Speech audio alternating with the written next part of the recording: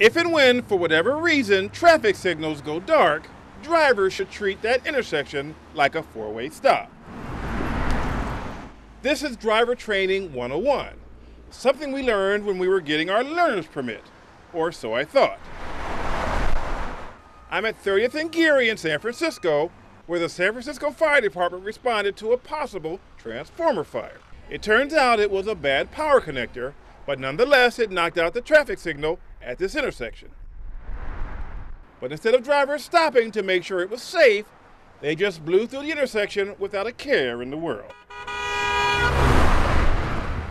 And the sad part? The people who should know better, like Muni bus drivers, were the biggest offenders because I saw not one bus,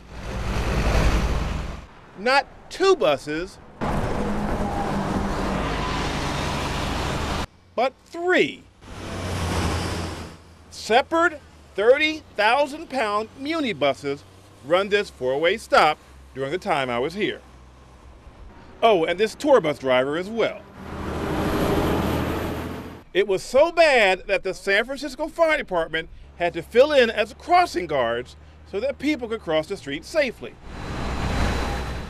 What in the world is written in the California driving test? I'm starting to think the DMV is simply giving away licenses. For the record, some drivers did stop, like this city worker, but for the most part, it was a free for all until the lights came back on.